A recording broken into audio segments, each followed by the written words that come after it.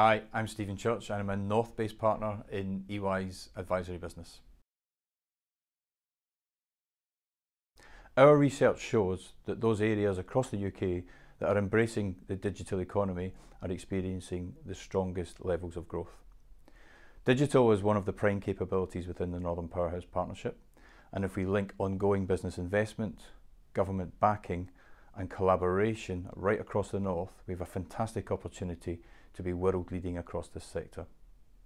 Grasping this opportunity will mean that we're able to kickstart our economy and start to bridge the gap that exists in the economy across the North and South.